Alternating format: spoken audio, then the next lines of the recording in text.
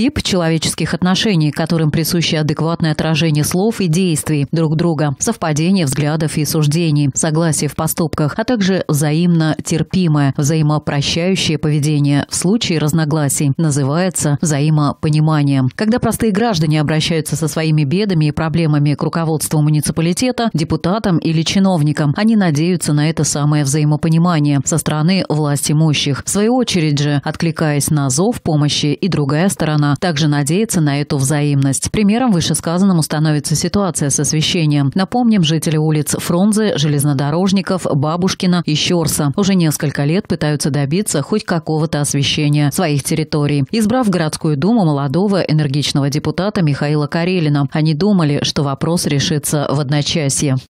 Вот я приходил именно к своему депутату, чтобы хотя бы нам вот сделали свет.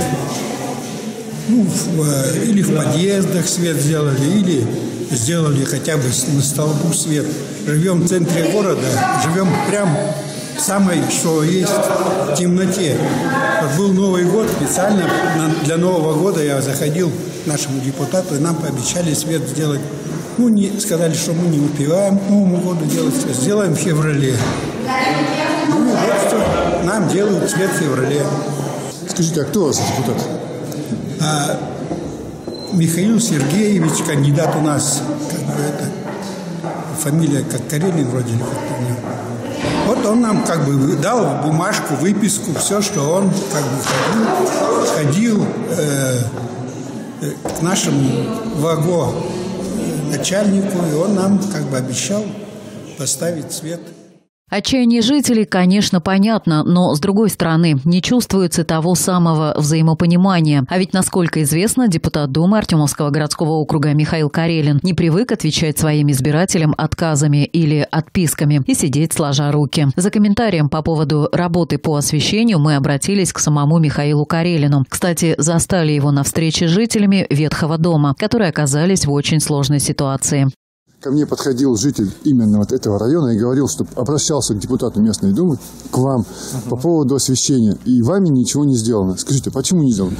Сделано или не сделано? А, честно, обидно, что так говорят, потому что самого первого, первого что у меня э, мое решение было это по освещению. Особенно в том районе, где я живу. Я живу тоже на своем же округе. У нас нет уже более 10-15 лет освещения. Это проблема большая. Я пишу мне отписки, я пишу мне отписки. 20 числа я был в жилкомстрое. Подходил к мастеру, который э, э, отвечает за освещение.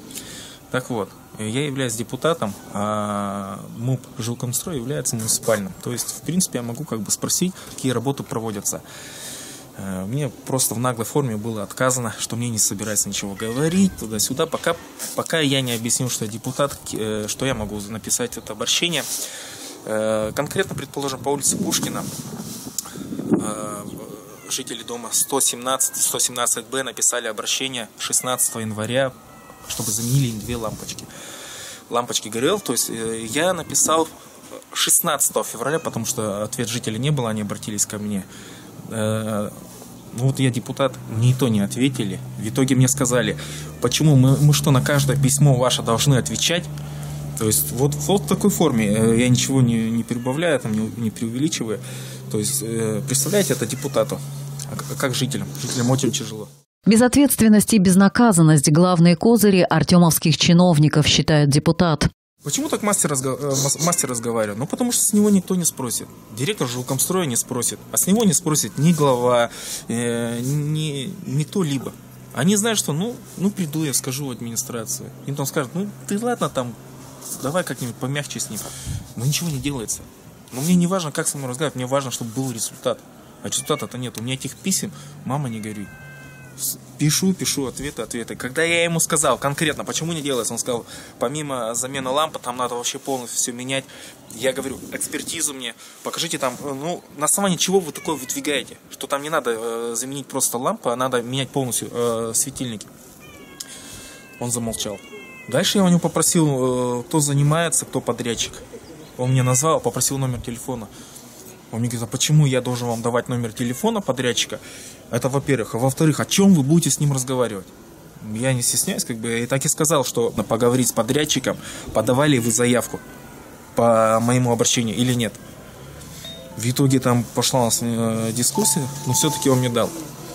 Ну, вот такая вот ситуация. Михаил Карелин отметил, что в Артемовском совсем не депутаты-бездельники. Есть избранники народа, кто рад оправдывать доверие своих избирателей и пытаться решать вопросы по обращению граждан. Только нет у власти муниципальной того типа человеческих отношений к своему народу, именуемых взаимопониманием. Что же касается решения вопроса по освещению улиц, как говорит Михаил Карелин, вода камень точит, то он будет по-прежнему им заниматься и упорно добиваться результата.